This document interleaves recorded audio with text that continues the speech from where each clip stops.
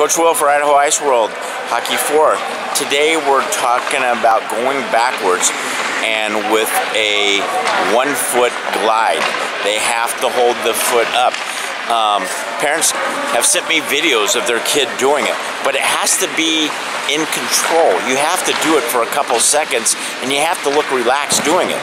That's sort of the key. Just because you can lift your foot up for a second and then put it back down, that doesn't really cut it for us. So today with me I have Coach Tyler uh, Maier from uh, our hockey staff here and he's going to show us a backwards uh, skating with a one foot um, glide. Go ahead Ty.